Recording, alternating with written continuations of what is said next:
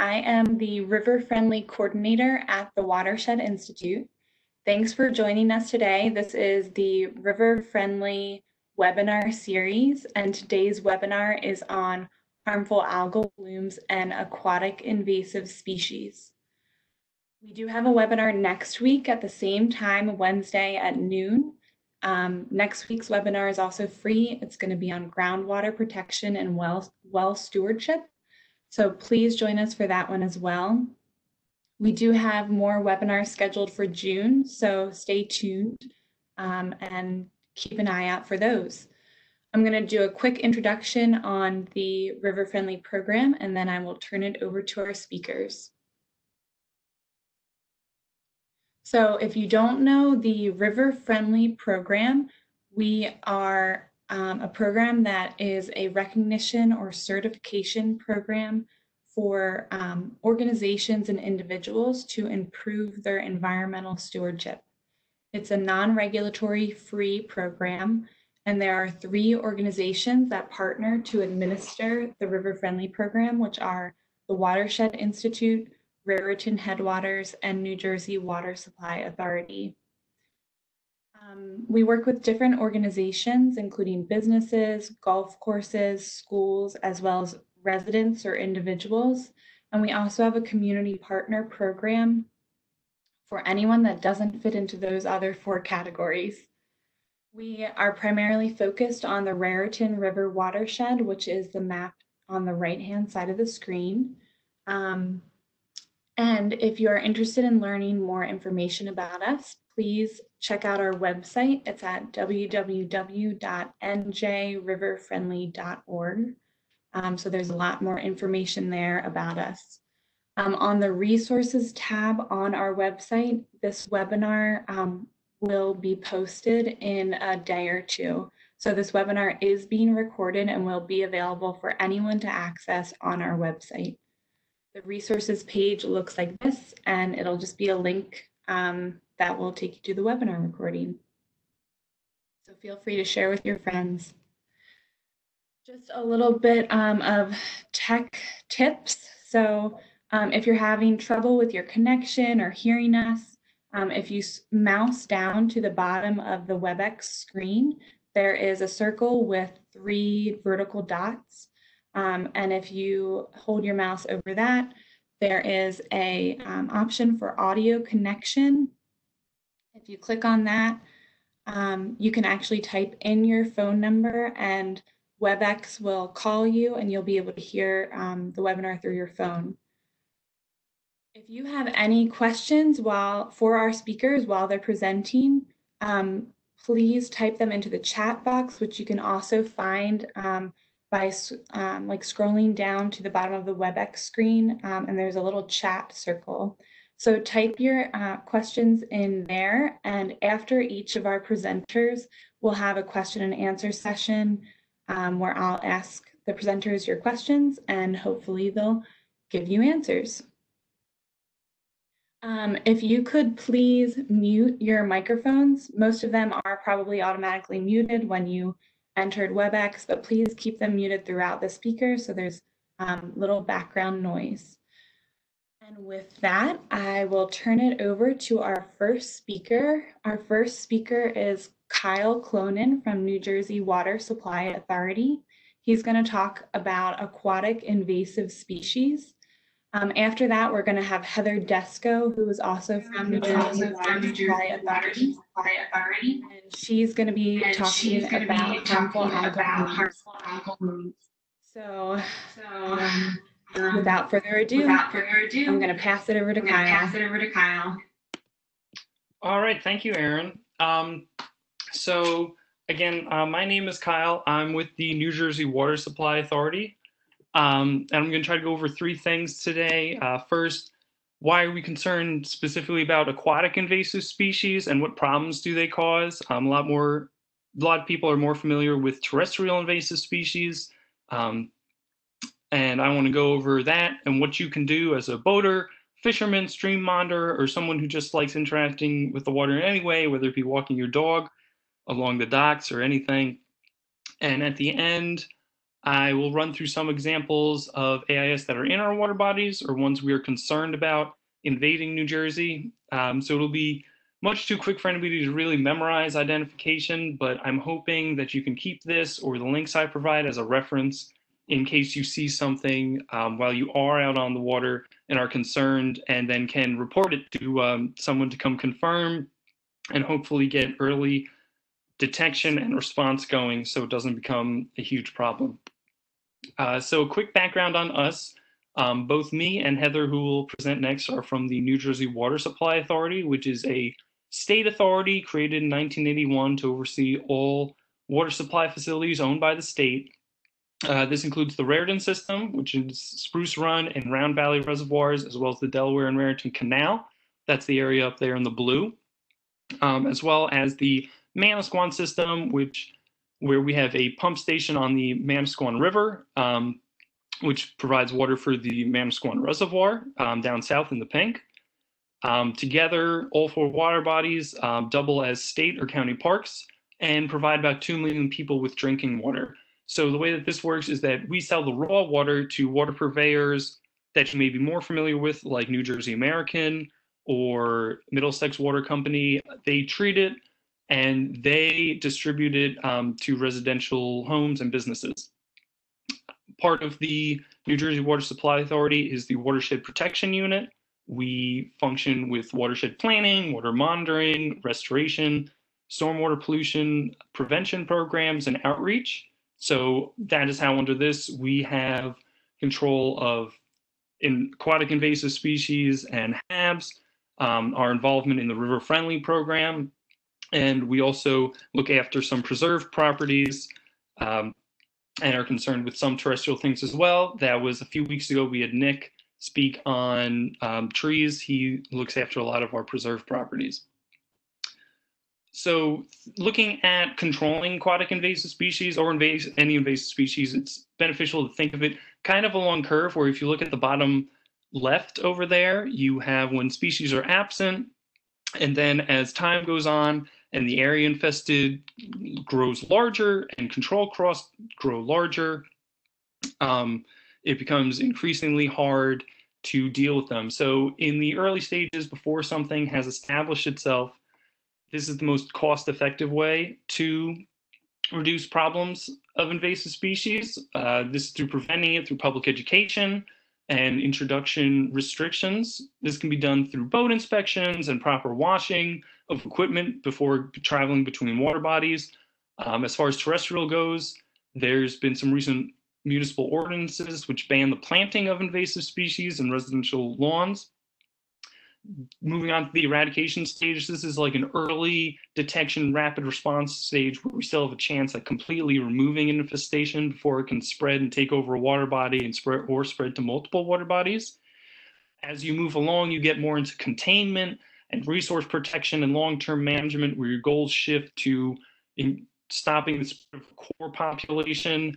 Active management is necessary, the public becomes aware of the problem, and eventually pollution um, the populations may be too widespread to be adequately controlled everywhere. So your strategy might shift more to reducing pop populations to lowest feasible levels and focusing more on your highly valued resources or areas that you really need to be clear. So what can aquatic invasive species be? They include anything from plants to invertebrates like crabs.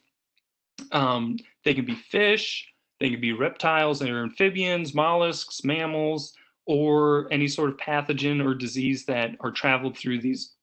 Um, some people think that Didymo is a invasive in New Jersey. It's it's not. It can certainly get to a, a uh, nuisance level. Um, same thing with algae, even though, like later, we will talk about cyanobacteria and some harmful effects of algae. They are not invasive, um, but they, they can still be dangerous. So what do these things cause that are different than just um, in terrestrial lands where we know about ecological damage? Um, when you're looking at water specifics, they can do things like clogging pipes and culverts. This reduces flow. This can impact flooding. It can impact water quality, such as dissolved oxygen levels, and it can affect recreational boating, fishing if things become too thick with plants, or um, drinking water supplies like drinking water intakes. I'm going to go over two examples of things we have had to deal with um, at the authority. The first is water chestnut.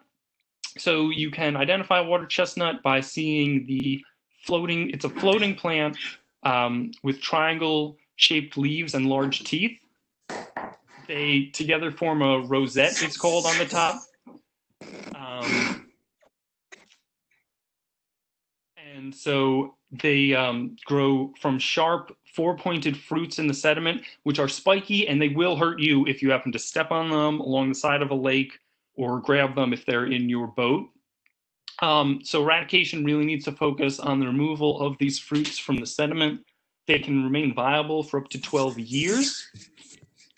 Um, detriments include covering surface water. This can restrict light availability to the bottom, reduce oxygen content, and if it gets thick enough, reduce recreational activities. So here's a picture of floating water chestnut in the center there. Um, just want to remind everybody if um, you could keep yourselves on mute, if you check yourselves, that would be great. Um, so here's a picture of the floating water chestnut. You can see how it covers the top in a rosette and is thick. Um, so yeah, um, moving on, here is an example of it completely covering a lake.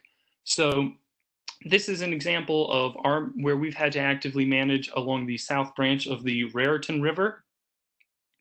Um, so along the south branch, New Jersey Water Supply Authority maintains an intake pond and a pump station which fills the Round Valley Reservoir. So you can see that building on the right, that's our pump station.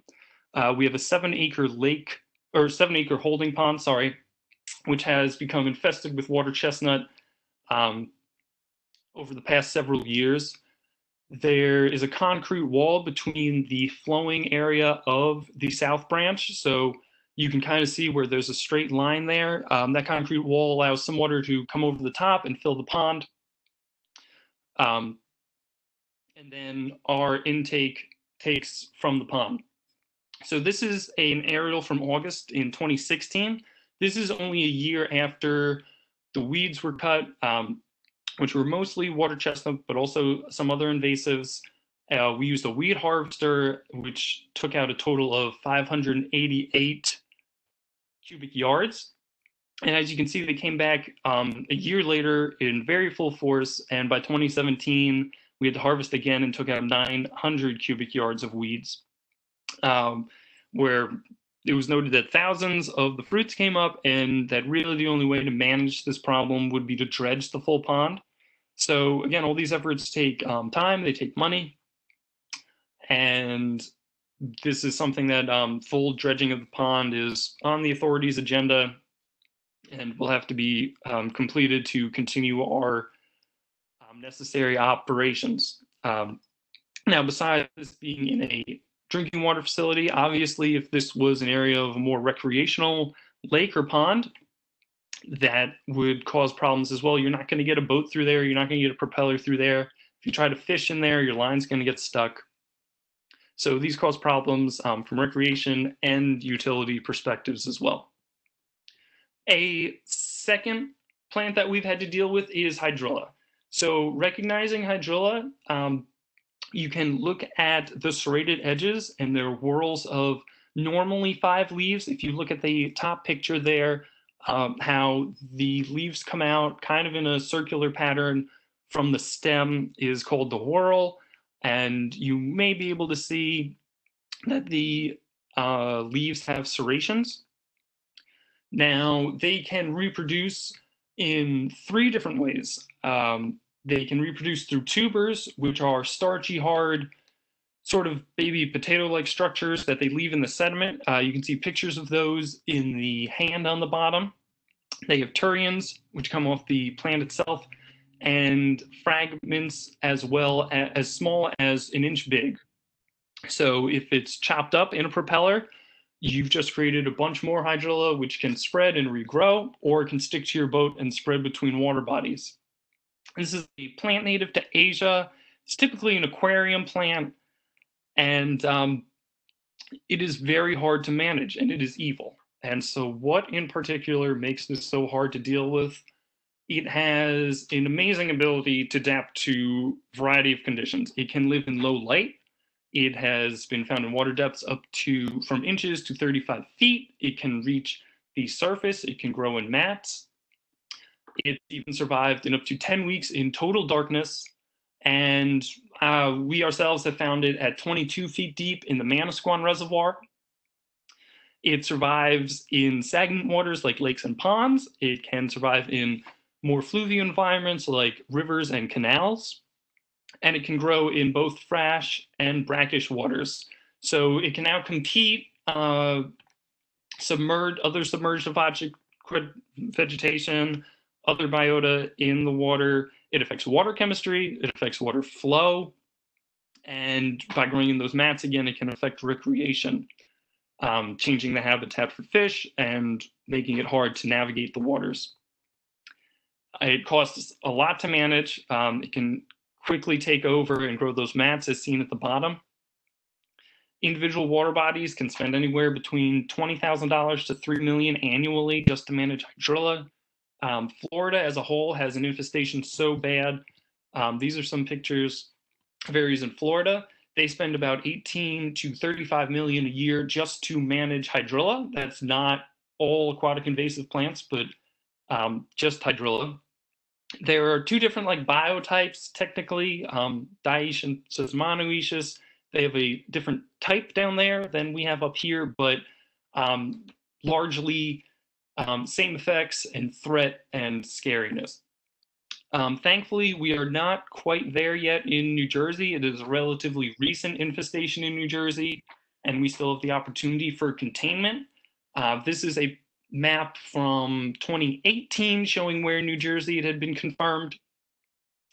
Um, and so we'd really like to contain it make sure that it doesn't spread too far. And this is why uh, the Water Supply Authority is working so hard to make sure it doesn't spread between uh, outside of the two water bodies that we have.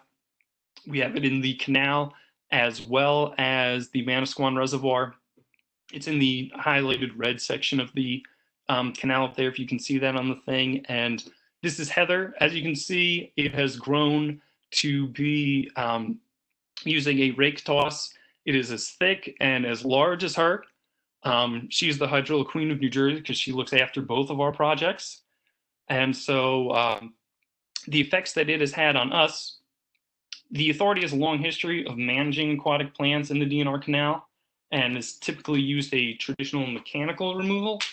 Um, in 2016, vegetation was reported so dense that the water level of the canal is actually below one of our water users' intakes. So it was so matted and thick that it was holding the water back. And during this investigation was when we first discovered the hydrilla infestation in the canal. And then the next year, we found it in the Manasquan Reservoir. Um, the problem with going back to a traditional mechanical removal is that, again, it spreads through fragmentation. So if we were to rip it up, um, like you see as a mechanical remover on the picture on the left, that would increase the spread.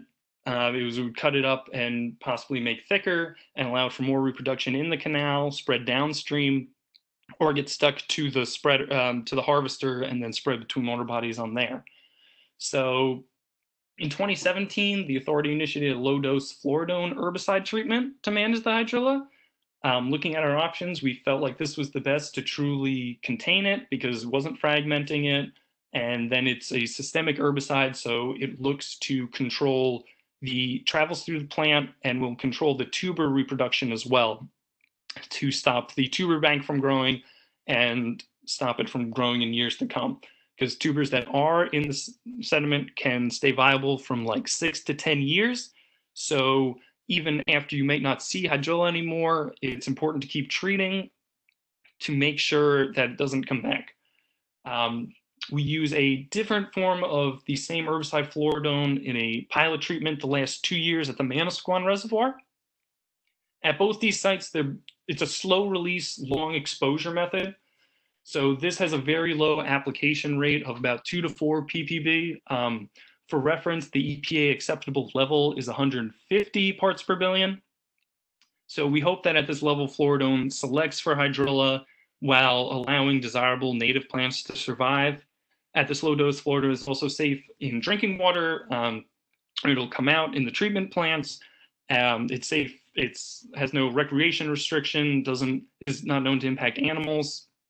It's something that's been in use um, in other areas of the country since the early 80s, and has been uh, deemed pretty safe. And um, you know, as a for instance, again talking about um, time and effort that's put into managing these plants, so we can deliver the water to our customers over the first three-year contract of the D&R canal cost um, management. It cost us over a million dollars. This has now been exceeded, extended into a fourth year, um, and will likely continue for another couple of years. Um, as we talked about depleting the seed bank, we need to ensure that the plan is to continue treating and managing for at least two or three years after the last hydrilla was spotted. Last year we found one hydrilla and one tuber, so means we're still going to work. Um, related hydrilla, but not something we've had to manage so far, is Brazilian elodea or Brazilian waterweed, um, which gives me nightmares as it's basically hydrilla on steroids. If you look at it, it is much thicker than hydrilla, hardier. Um, you can tell a difference because the whorls are typically in whorls of four. Uh, its edges are not visibly serrated. Um, it was recently found in New Jersey. We, um, a coworker came across it in a private pond last year. So going back to that curve from the beginning, this is certainly in the early detection and rapid response phase. And it's something that would, could be you know devastating some water bodies if it spread. Just thinking about those pictures I showed before of the hydrilla mats. Um, here's a comparison between hydrilla, uh, the Brazilian elodea or waterweed, and elodea, which is the native um, to this area, which is also known as common waterweed. And you can really see how thick and hardy the Brazilian um, type is compared to the others. There's a little more at least in this picture, spacing in between the leaves on hydrilla. Um, Elodea will be smaller and daintier um, and has a different amount of whorls, I mean, leaves per whorl. And um, so those are three. Again, Elodeas are native, and then Hydrilla and uh, Brazilian Elodea are both invasive species. So um, what can you do? Are you scared of anything yet? Um, I hope you'd like to help us stop the spread. One thing you do is please do not dump your unwanted fish or aquarium plants in the public water body. Um, this is a great way for them to spread, whether it be the fish themselves, which are likely possibly invasive, um, as well as any sort of plants that you have in there. As I go over some things later, there's kind of a theme here where many of the plants are uh, many aquarium plants or many of our invasive plants start as aquarium plants before invading local water bodies. So there's plenty of other ways to get rid of your fish by taking them to a pet shop, online, or you know, burying in the backyard. Um, just please don't put it in the reservoir. As mentioned, control and prevention are the best and most cost-effective measures. Um, education and awareness are first lines of defense especially because so many of these spread through fragmentation and can hitchhike, as people put it, on equipment from people's activities like your waders, like your fishing equipment or your boat. Um, this is why they've been given the nickname aquatic hitchhikers, and there's a federally sponsored Stop Aquatic Hitchhikers multi-state campaign, um, which focuses on checking, cleaning, draining, and drying your boat we also ask that people educate others and report their sightings. So I'm going to go over examples of how to do all that. Here's a picture of a boat coming out of the water infested with AIS. Um, as you can see, many spots of your trailer or your boat can grab hold of the vegetation and pull it out. And then if you don't properly clean it and quickly go back to another water body, these are how these fragments spread and take root and can regrow. Proper cleaning includes things like allowing your boat to dry for at least five to seven days. That ensures that anything, whether it be a plant or a mollusk or anything else that is stuck to your boat uh, will have enough time to die. Pressure washing, um, ensure using you uh, hot water or things like commercial car washes, cleaning detergents and agents like homemade things like vinegar and bleach. There's plenty of stuff online. Same as you, you know, wash your, making sure that you wash your boat and then also um, washing your waders and other fishing equipment to ensure that nothing is hitchhiking on you and that you're not the one spreading things from water body to water body. Um, another effort, something that we've just started at the authority, are boat inspection stewards. Um, this is something that if you're part of a nonprofit that looks over or a group that looks over um, any sort of friends of a water body group or us, uh, last year we partnered with the Monmouth County Park System to start a boat inspection steward program. We had uh, two interns that would work um, from Friday to Saturday and check out boats. So uh, this was based off the New York State model. It's been gaining traction in many um, New England states and Pennsylvania. It's not really here in New Jersey yet. Um, there may have been a small one at Lake Hopatcong, and then uh, this was a very more established one that we tried to put on last year.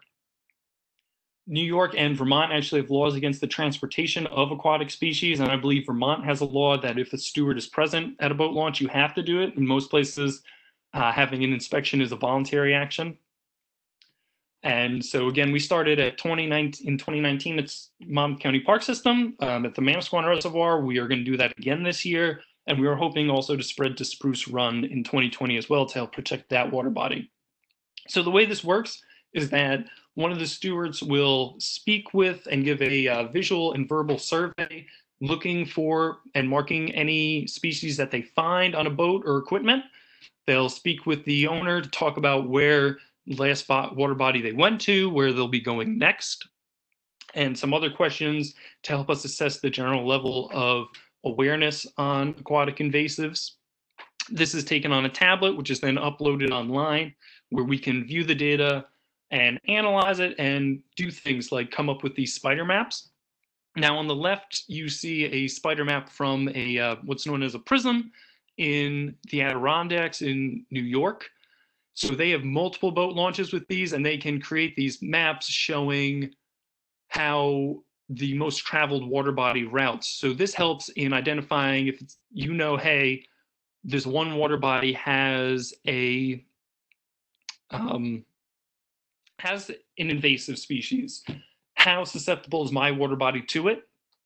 Seeing how often travel pathways, most popular travel pathways, can help you gauge that risk. While we didn't have um, many others in New Jersey, so we can make a connection diagram like that, we still made a map of where people were saying they came from last in New Jersey. The red dots there show areas where hydrilla has been found before. The green is the Manasquan Reservoir, and as you can see, people are going all over the state. This is just focusing on the state. If we had one showing everywhere, it would have um, been too out of scale to show here. But we had people, we found someone came in from Florida who still had on them. Uh, people have been coming to and from the Great Lakes and plenty of places in Pennsylvania and Connecticut to Manasquan Reservoir as well. Uh, so we completed about 2,000 surveys, and about 97 people who were approached took the survey. Uh, vegetation was found on 18% of launches and 55% of retrievals. That's expected because it would be higher on retrievals, right? Because people hadn't had time to clean their boats yet.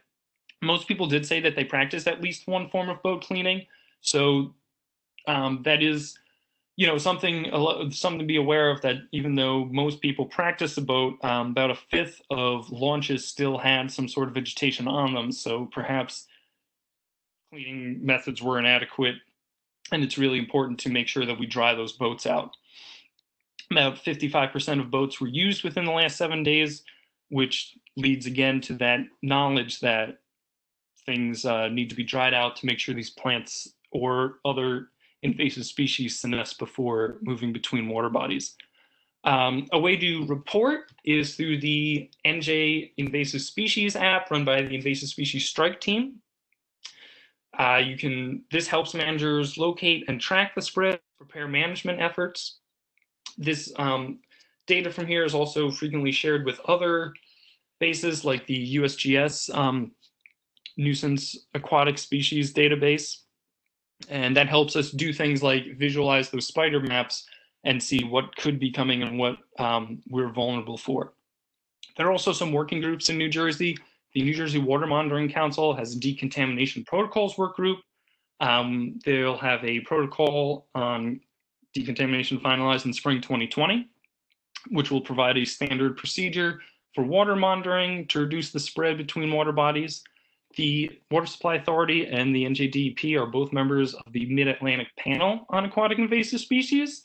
Um, being part of this and other professional organizations like the Northeast Aquatic Plant Management Society has helped us to coordinate with other states' effort, learn from their experiences on management and outreach efforts like the Steward Program. The panel also provides grants for small initiatives for states with AIS management plans or aquatic invasive species management plans when I say AIS, or to help states develop a plan. Currently, uh, New Jersey is one of only seven states, or maybe less than that now, who do not have an AIS management plan. Um, the state does have an invasive species management plan, which was completed in 2009, but that plan doesn't include specific recommendations for aquatic plants and animals. Uh, so if we were to have a plan in place, the state would then be eligible for more funding from the federal government through the U.S. Fish and Wildlife Service. Uh, for instance, the state plan grant program distributed uh, about $15,000 to each state within its plan in fiscal year 2018. And um, learning from other states, having a coordinated plan for the state would definitely help to manage AIS. Um, now I'm going to go through some quick um, aquatic invasive ID before handing it off to Heather.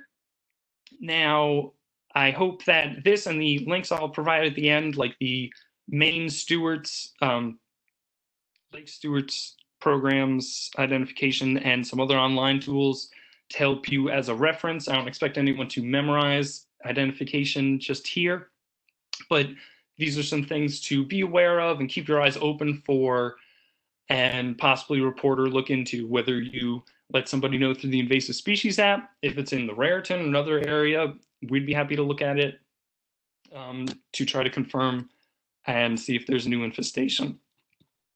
Um, eurasian water milfoil so this is actually something that's not always actively managed for because it is just so widespread um, on that kind of graph before, this would be in the in the far right established um, man, uh, graph of invasive species. So this forms thick tangled mats of the vegetation, which can um, a vegetation which can reach the water's surface and really jam up a propeller. They were accidentally introduced and spread by boats and waterfowl. Um, they're kind of smooth leaves and they are another one that outcompetes native plants and spreads through fragmentation. Now, the curly leaf pondweed is something you can view. It also forms these thick mats at the water's edge. If you see it, you can kind of think skinny, crunchy lasagna noodles. If you see that up at the top, that's a one of the single strands of it. It's another one that forms through fragmentation. Um, if you're picking up on a theme here parrot feather. Um, this is an interesting one because it can break the water surface um, and be known as an emergent plant. If you look at the top picture there, the that's the bud of the plant that um, can reach out of the water. It's a South American origin aquarium plant. Again, um, many aquarium or origins here. Um, so proper management and disposal of that is very important. Um, they have submerged leaves with whorls of mostly five and smooth margins.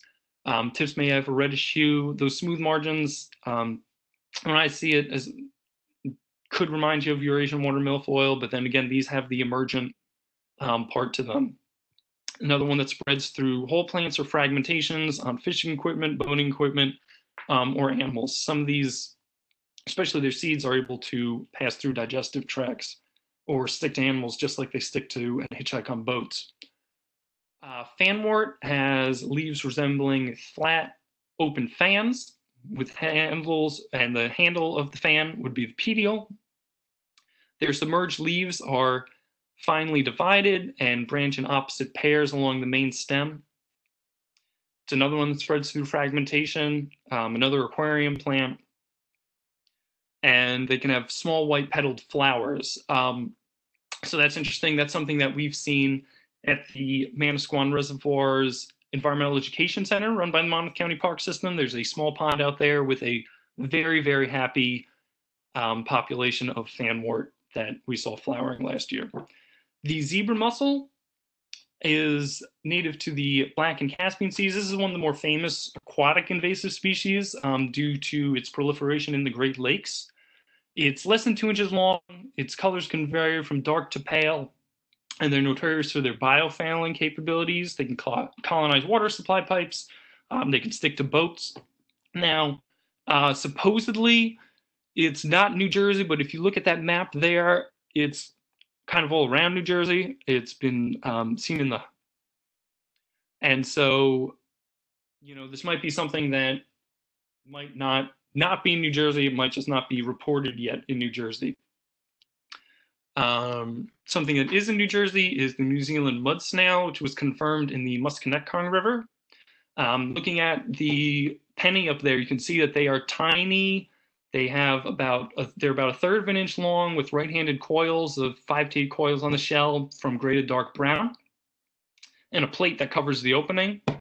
They can survive passing through digestive tracts of fish and birds, so they can move, you know, along with fish and birds between water bodies and they can result um, in new population through asexual reproduction. So even if one comes in to a new water body, um, over three years, it can resexually produce to up to 40 million new snails from just that one mud snail. And it can now compete other grazers and have effects on natural macroinvertebrates. Um, the last one I'm going to go over here is the Chinese mitten crab. So this is an example of besides just aquariums how things can come in through kind of you know cultural practices as well earlier in the year the u.s fish and wildlife service confiscated 15000 live chinese mitten crabs at airports in the 120 days leading up to the chinese new year um, as part of law enforcement activities they're native to china and korea and considered a culinary delicacy in uh, much of asia and they've been seeing the Hudson River and Chesapeake and Delaware Bays, as well as the Great Lakes and the San Francisco Bay, where they have been known to clog um, water intakes. They have brown, shiny, spiny shells, um, furry, quote unquote, mittened claws. Their carapace can be up to three inches in diameter. And again, they cause a number of um, things like outcompeting natives, clogging intakes, and um, they can hurt commercial and recreational fishing activities by consuming bait and damaging uh, fishing nets. Um, so that's all I have, and I'm happy to take questions. Um, two things to look out for here, and we'll link to these later in a uh, follow-up. This presentation will be available. The Maine guide, Maine field guide to invasive aquatic plants is uh, you can purchase it as a field guide or it's also freely available online. Um, and that is a really great resource for helping to identify invasive plants. Um, the USGS Non-Indigenous Aquatic Species Program um, has a database online. That's where I got that picture before for the New Zealand mud, uh, not the New Zealand mud snail, but the uh, zebra mussel. And um, if you have um, any questions, I'm happy to take them. Thanks so much, Kyle. That was great. That was great. Um, the only question I think we have right now is um, can harvested water chestnut be composted or is heat insufficient to kill the seeds? Um, honestly, I'm not sure. I know um, as long as you are, I don't know if it would kill the fruit. I'm not sure. That's something that I could look up and get back to you. Um, I know the rest of it. I, you know, the the vegetative part. I'd be confident um, that you could compost. Um, I know that we've just gotten rid of it before by um, giving it to municipal compost waste. So um, I would assume so. Just as long as you know you mostly make sure that it doesn't wind up uh, back in the water body. Thank you. Thank you. Um, I think that's all the think that's all questions for you right questions for now. you right So now. So We can move on to Heather if you like. Heather, if you like. Okay. Um, let me just figure out how to stop sharing.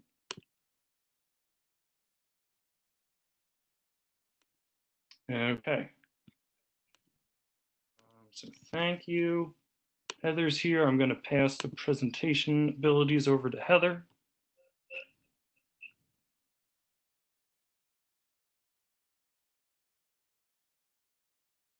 Right in my. Yep. I don't, I don't see your thing yet, but I. Okay.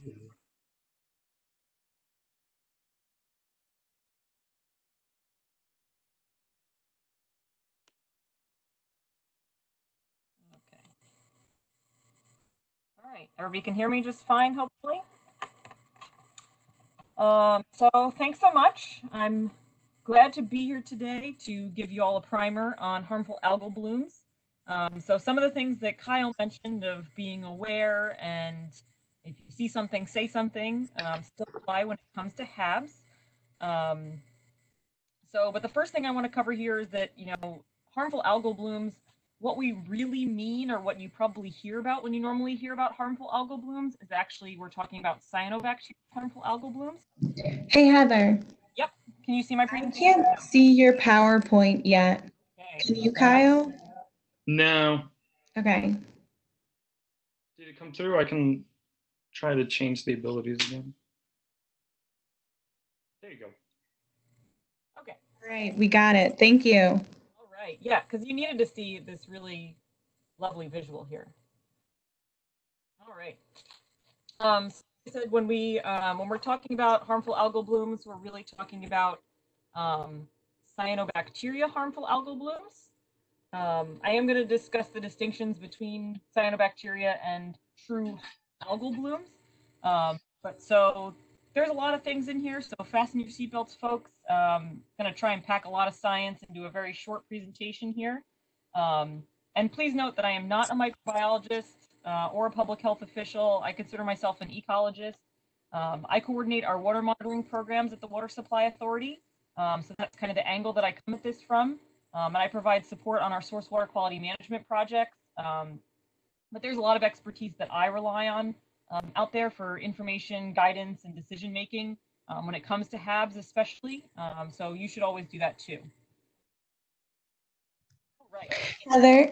Yep. Sorry to interrupt once more, but we have a request to potentially turn up your microphone if that's at all possible. If not, that's okay. Let me try one thing. Let's, uh,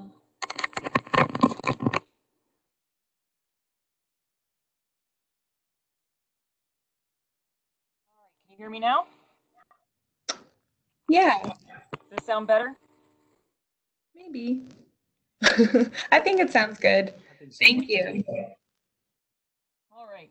Um, so you've seen these um, ripped from the headlines. We talk about algae blooms. You see them all over the news, um, especially the national news, and more often in recent years. Um, the headlines are really scary uh, with the words of toxic and lethal. They talk about um, livestock deaths and dog deaths, um, drinking water issues like the Toledo water crisis in 2014. Uh, and New Jersey was no uh, no different, and especially in 2019, you really couldn't escape hearing about algae in New Jersey. Um, there were widespread, persistent, and highly publicized blooms in Lake Hopatcong and Greenwood Lake, um, a- among a lot of other water bodies in New Jersey. But those two were the ones I think that were most in the news. Um, but why now? Is this is this a new phenomenon in in the U.S. in New Jersey? No, no, it is not new. Um, it's just one of these things that once you start to pay attention to these things, you see them more often. And then there's some other reasons why you probably hear about them now more than you have in the past. And I'll give you a little spoiler alert that more advanced science leads to more public health guidance. Um, and warming temperatures and more stormwater definitely leads to more algae. Um, and just pay special attention to that last headline there, um, which mentions one of the governor's initiatives for HABs, um, $13 million. I just believe that that's, that's likely just going to be the beginning of funding um, for HABs in New Jersey. So, many buzzwords, and let's just try to pull them out um, so that we can really try to understand what all of it means. You all came here for the high school biology refresher, um, right? That's why you're here. Um, so first things first, contrary to the name, blue-green algae is not actually algae uh, at all. Algae are eukaryotes, um, and cyanobacteria are actually bacteria, which are prokaryotes. The prokaryotes can be unicellular and live by themselves, or they can form colonies or filaments. So you see on that picture there, you see some colonies there, and then the filaments is the really long piece. Um, definitely no social distancing going on between those cells there. Um, and cyanobacteria can photosynthesize and they contain the pigment phycocyanin, um, hence the cyano in the name. Um, they're very, very common in the environment um, and they do serve as the base of the food chain, so they are very important. Um, they're actually one of the oldest living organisms and they were responsible for the Great Oxygenation Event about 3 million years ago that was essential to forming our atmosphere. So I guess we can all say thank you to cyanobacteria they're pretty cool organisms. They've lasted a really long time. They've been around for a really long time, so they have to be pretty special to made it this far. Um, so they do have some fun facts. Um, so one of those is that they can regulate their own buoyancy in the water column, that they can go up and down um, in search of light or nutrients. Some cyanobacteria can fix atmospheric nitrogen, which means that they can take nitrogen from the air um, and then which isn't really helpful for plant growth. And then they can make it into a form that is usable for them. And they can get those usable forms of nitrogen from soil as well and sediment um, at the bottom of lakes, but some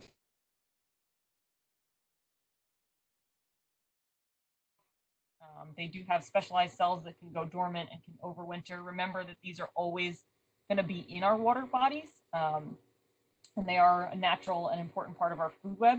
Um, so they're always present, but it is those bloom conditions that are the problem. Um, and that's and the reason why they can be problematic is that they can produce toxins, but they don't always produce, to produce toxins. Um, so again, these toxins can be present in normal conditions, but uh, in such small amounts uh, that they don't have an effect on people with minimal contact with the water. There's always going to be some age groups and populations that are more sensitive, um, and even some cyanotoxins can be extremely harmful in small amounts. So what is a bloom that we're defining here? Um, the bloom that we're referring to in the phrase harmful algal bloom is the overgrowth of microscopic photosynthetic organisms. And this can be true algae, it can be diatoms, it can be cyanobacteria. When most people are using that term, HAB or harmful algal bloom, um, these days they're likely referring to the cyanobacterial harmful algal blooms. Um, but even things like diatoms or true algae can be problem can be problematic um, and diatoms especially can be an issue when it comes to water supply as they can clog filters in water treatment plants. So what do these blooms look like? Um, now I'm going to talk about cyanobacteria HABs and showing what these pictures, uh, what these blooms can look like. So they can have many different visual presentations uh, from spilled paint to pea soup, um, from green to brown to blue to even pink, which I don't have a picture of here. Um, but even the same dominant species can look different from one day to the next. And since I mentioned that cyanobacteria can regulate their buoyancy in the water column and that they can go up and down depending on the time of day, you might not see a surface bloom, uh, but it might be there. In that final picture that showed up there on the right, um, we collected a water sample at the same time of this, and I don't think it looks very bad when you look at the picture there. Um, just about three feet below the surface there, there was over 200,000 cyanobacteria cells per milliliter, which is quite a lot and would definitely be considered a bloom.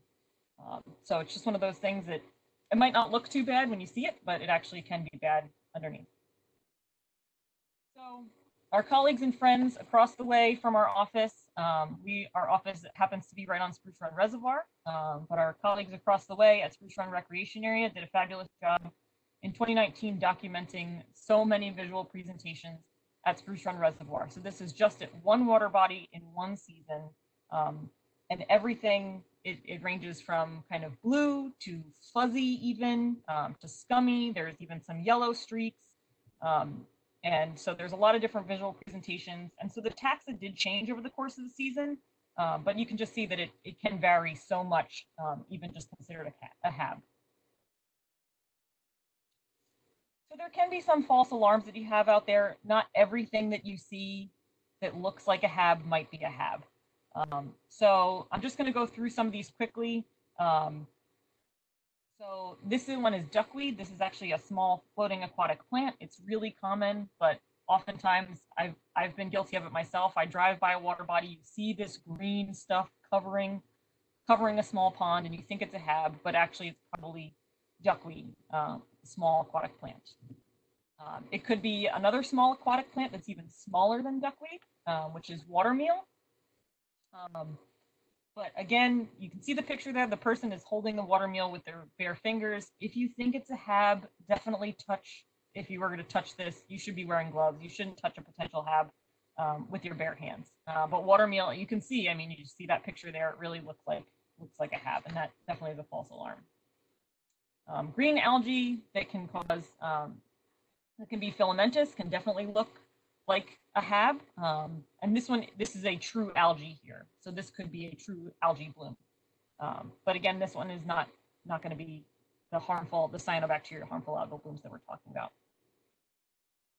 And not cyanobacteria, but this is a euglena, uh, which is an algae bloom. Um, and they can really look like cyanobacteria harmful algal blooms. Um, and you even have to get under the microscope to really see that this was not cyanobacteria.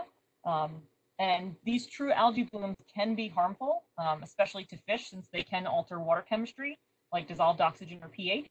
Um, and sometimes these algae blooms can result in fish kills. Um, and this would not be a cyanobacteria harmful algal bloom. Not that this one did result in a fish kill, but it could. Um, there's a lot of dynamics when it comes to phytoplankton. Um, so keep in mind what you see might be a true algae bloom. It could be a cyanobacteria bloom, um, and it could be harmful. Um, so it is always best to err on the side of caution. And if you see something that looks like this and you're not sure, um, then you should definitely report it and err on the side of caution um, when coming into contact with it.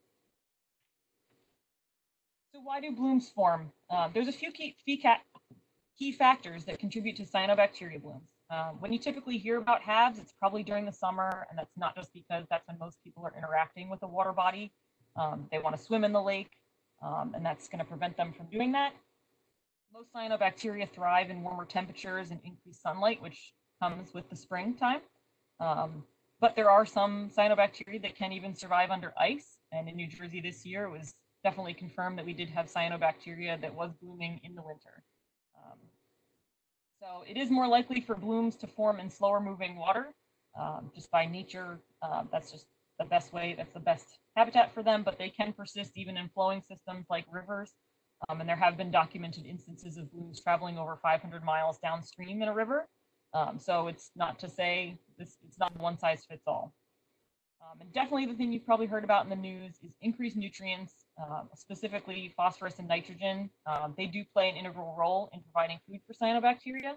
Um, these increased nutrient levels can come from stormwater runoff, which can carry fertilizers or pet waste into water bodies, uh, failing septic systems, or even from internal lake cycling.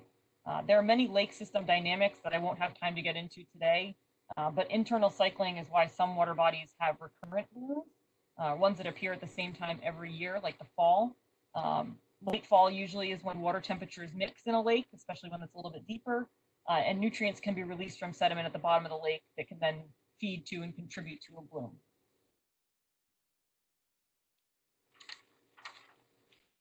So by nature, an overgrowth of cells means a system is out of balance. And what are we going to say that a bloom is harmful to? Are we talking about harmful to humans, to animals, to fish, to the environment?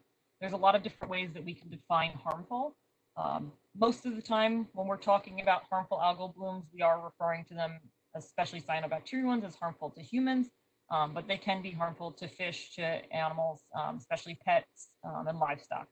Um, so that is something to keep in mind as these blooms can result in water quality changes like decreased dissolved oxygen um, or changes in pH, that can definitely be an issue for aquatic species as well. I've seen pH, pH can increase really rapidly when a bloom is forming. So even I've seen it uh, above nine.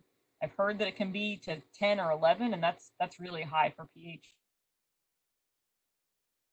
Can definitely drop out and create a big issue for fish.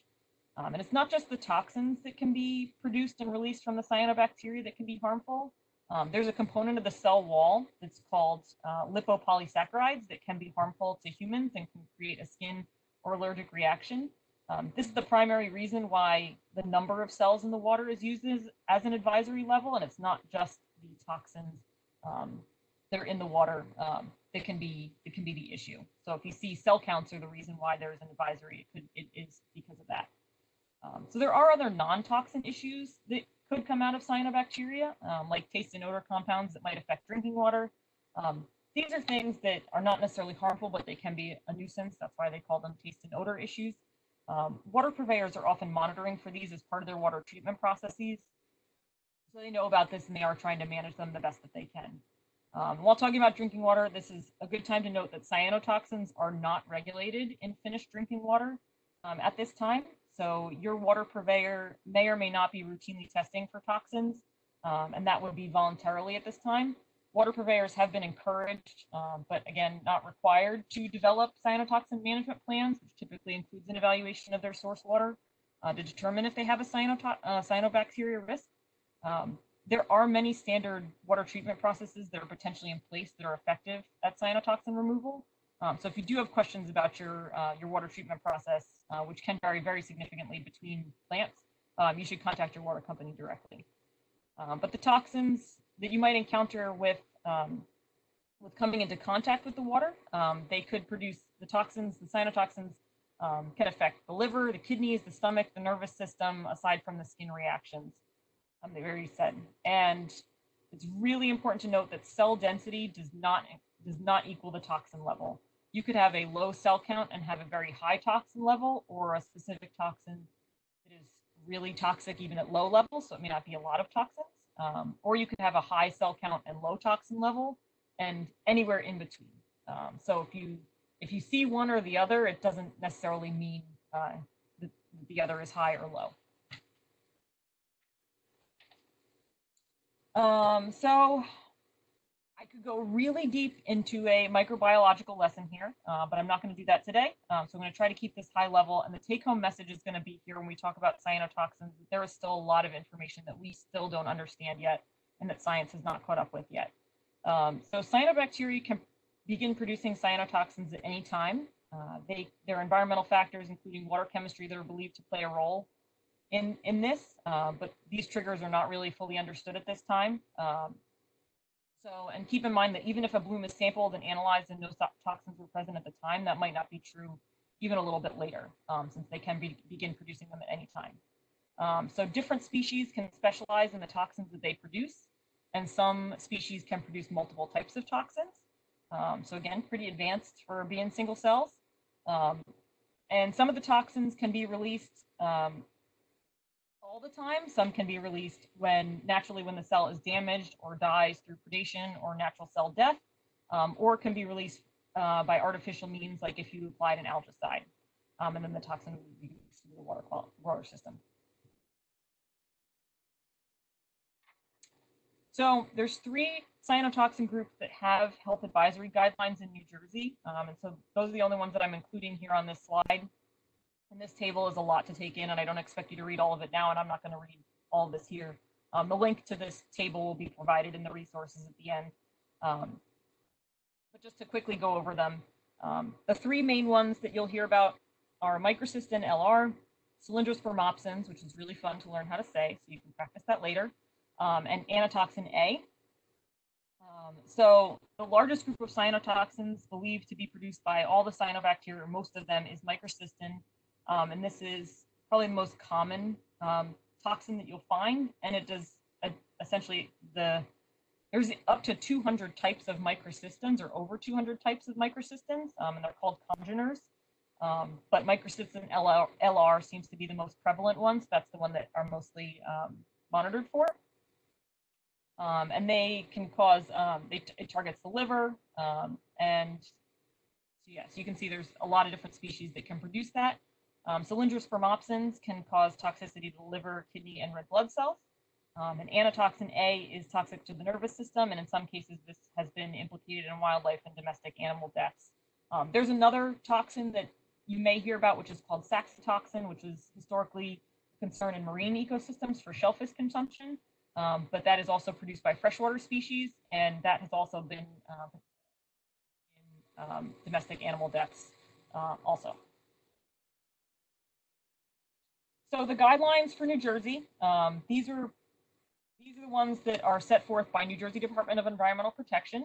Um, so they've developed health advisory guidelines and action levels for uh, microcystin, cylindrous and anatoxin A, um, and also an action level for cyanobacterial cell counts greater than 20,000 cells per milliliter where primary rec recreation contact is likely to occur.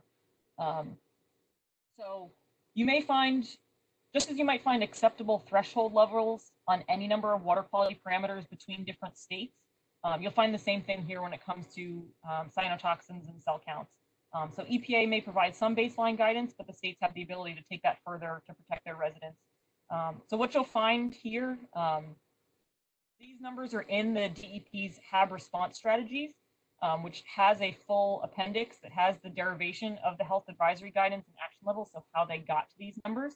So you'll find that these are well-researched numbers. Uh, they're supported by a number of public health organizations um, a lot of scientific research out there. Um, so the guidelines are also meant to be protective of the most vulnerable populations as well. Um, so you can see even between the different toxins, the levels are very different um, between those health advisory guidelines. So if you're in New Jersey, you might have seen these signs. Um, there's a suspected, uh, a warning, yellow suspected signs, um, and these ones are posted um, when a bloom is pending test results, and that could be the cell counts and toxin analyses um, to determine if a HAB is present or not. Um, it's one of these just just to be aware, um, but you shouldn't you should avoid contact with the water body if you see these until until you get further information. Um, and once a bloom has been confirmed, then the red HAB present signs are posted. As I said, these blooms can move in the water column and even move around a water body.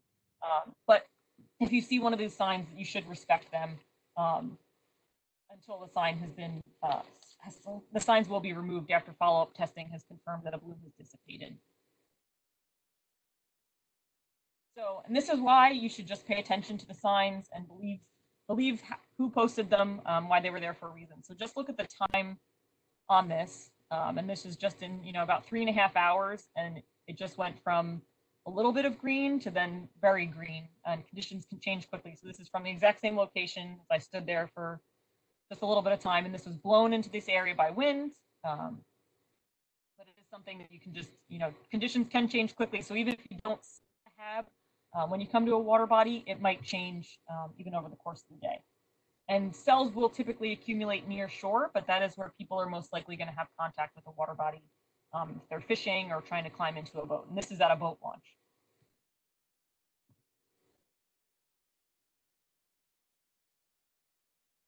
So the New Jersey DEP is responsible for the statewide um, response for HABs. Um, so any potential HAB reports should be reported to DEP, uh, which will coordinate further monitoring and response. Groups throughout the state, including DEP, USGS, Water Supply Authority, um, research institutions, including universities, lake management consultant firms, and other local groups like Lake and Watershed Associations conduct water monitoring efforts to better understand HABs. Um, so I'm just going to cover some of the tools that are used um, for, for monitoring for HABs. Um, there are handheld meters. There's a lot of variability between these. Some of these can be really sophisticated, some can be uh, pretty simple, um, but a lot of these if you are looking to monitor a HAB, you want one that measures phycocyanin, uh, which again is that blue-green pigment in cyanobacteria. Um, and then you can look at other water quality parameters. As I mentioned, you can often see if pH is changed or dissolved oxygen. Um, they can provide some indication of a HAB. Um, you can also take water quality grab samples. That's really the only way to confirm the identification, the cell count, and the toxin levels by taking a grab sample. Um, I really like this, this middle image here, which is the top view of a glass bottle that it really doesn't look like a HAB when you're looking at the water, but then you can see all of those tiny filaments Um, and most of those are all cyanobacteria um, that were in the sample that we grabbed. Um, and then there's some really innovative technologies that are out there um, for mon monitoring water bodies. Um, that floating yellow thing there um, is a water quality monitoring buoy that collects data and then um, transmits it to a website that you can view in real time, um, which is pretty neat to be able to kind of track a bloom remotely. And it's in the middle of, um, that one is particularly in the middle of Spruce Run Reservoir.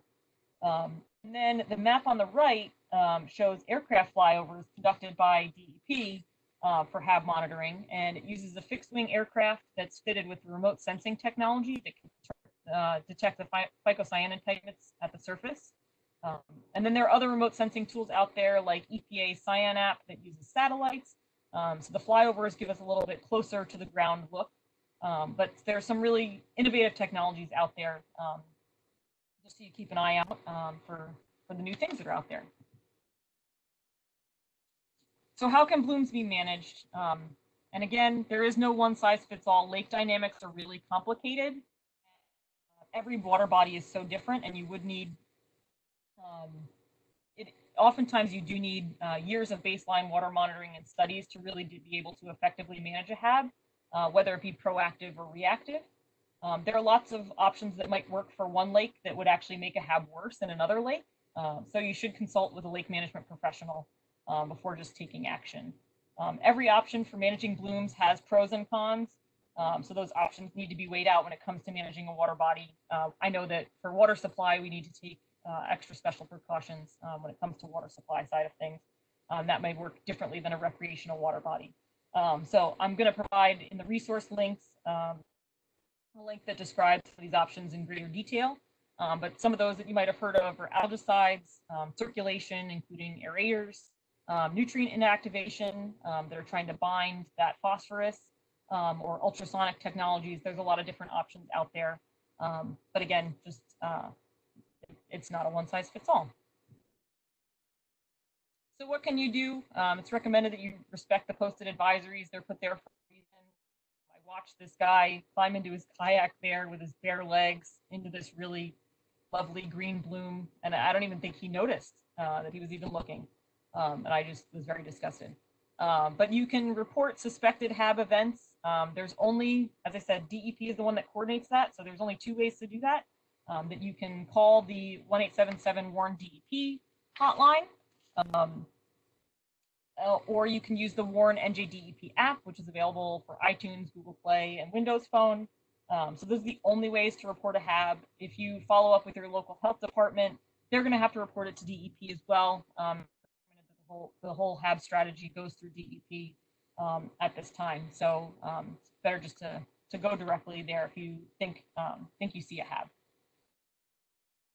Um, so again, there's the that's what the the icon looks like if you search for the um, the DEP Warn the Warn DEP HAB uh, app. So other things that you can do, you might not have all the fancy tools that the professionals have, and I know that there are some professionals that are on this webinar, um, but you can also be community water monitors for HABs in New Jersey soon. Um, so the New Jersey Watershed Watch Network will be hosting a webinar in June to discuss new a new HAB monitoring platform, um, including an equipment loan program that's been moved to, uh, it's been pushed back to 2021 at this time due to COVID-19. Uh, but this, this program is going to allow that citizen scientists can adopt a water body um, and assist with HAB monitoring. Um, but even visual inspections are extremely helpful at all times of the year.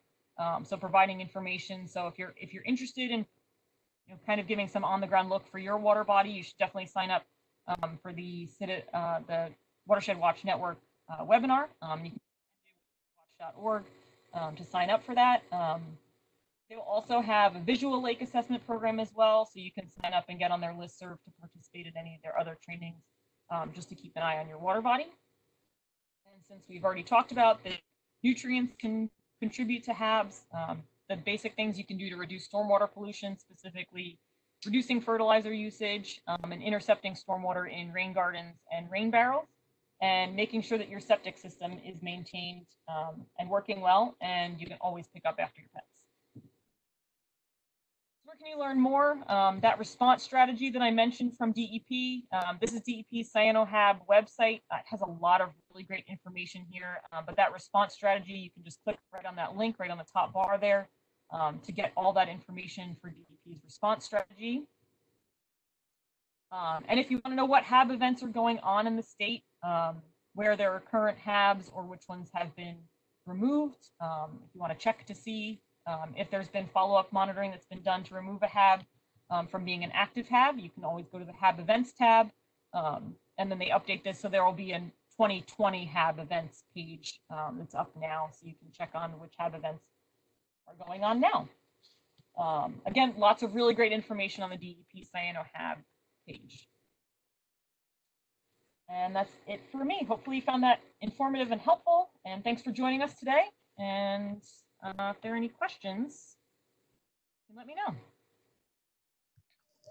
Thanks so much, Heather. That was awesome.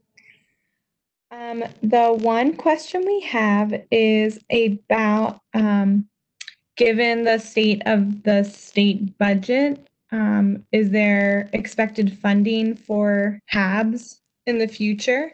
Um, and someone mentioned that maybe there might be alternatives to state funding, um, like a stormwater, u- implementing um, a local or regional stormwater utility um, that could be directed towards HABs. Um, so can you speak about that a little bit? Um, the only, the only thing I can speak to is that I know that the HABs funding um, that DEP put out there, that that is still moving forward. Um, we at the Water Supply Authority have been, we were awarded um, HABs grant from DEP for as part of that funding, um, and that is still moving forward. Um, it's still a governor's initiative, even with the um, with the adjustments to the state budget, the, state fiscal year. Um, so I know that that's moving forward. Um, I know there is other HABs funding out there uh, that may not be through New Jersey State. There's other HABs funding through uh, the USGS, and there may be other groups out there that, that do have HABs funding as well. Um, and one more question. Um, do you have off the top of your head any recommendations for educational resources about HABs and algal blooms for middle school students? I I don't at this time, um, but that is something that we had talked about um, through our River Friendly Schools program potentially developing, um, since that is such a hot button issue here in New Jersey. Um, so it's just another push that we need to get on that. Uh, but I will try and see if I um, I might have some contacts that might have some information. Awesome. Um, I think that's all the questions we have. So, um, unless anyone has anything else, thank you everyone for attending the webinar. Thanks to Heather and Kyle for the great presentations. And hopefully we will see you next week for the groundwater uh, protection webinar at the same time. Thanks, everyone. Thanks, Erin. Yeah.